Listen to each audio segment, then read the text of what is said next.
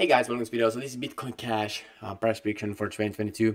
And Bitcoin Cash is a hard fork of Bitcoin, and they basically increased the block size, so it's more of a cash. Uh, Bitcoin as, is kind of like a store of values. This is more meant to use as a cash. However, um, uh, not my favorite, definitely not part of my portfolio. If you want to see, by the way, how I turned $500 into over 300k last year, so you can check out the first thing in the description and get instant access.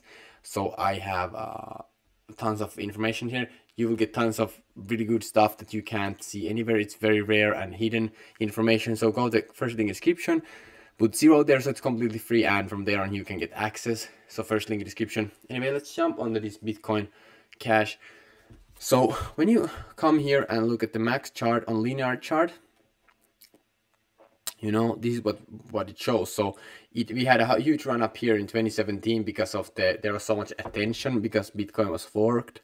Uh, so there was bitcoin cash and bsv bsv is total bs bitcoin cash is a lot better than bsv bsv is just ridiculous. Uh so bitcoin cash is better than bitcoin sv but however i don't i'm a huge fan. So when you look at logarithmic chart we are absolutely well if you think that like bitcoin cash is going to survive right now might be a not bad idea to dollar cost averaging, but I don't know who would like to buy this because it's not the adoption is not growing. It's more like it's going down.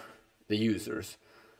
Um, so you know I don't know why people buy this, but overall in general I think that the market is going to go down more, and in the end I think that these Bitcoin forks will go to zero, just because there will be so like the technology moves so fast, and these forks don't move at all. They just stay the same. So you know in my opinion it's not a good pick.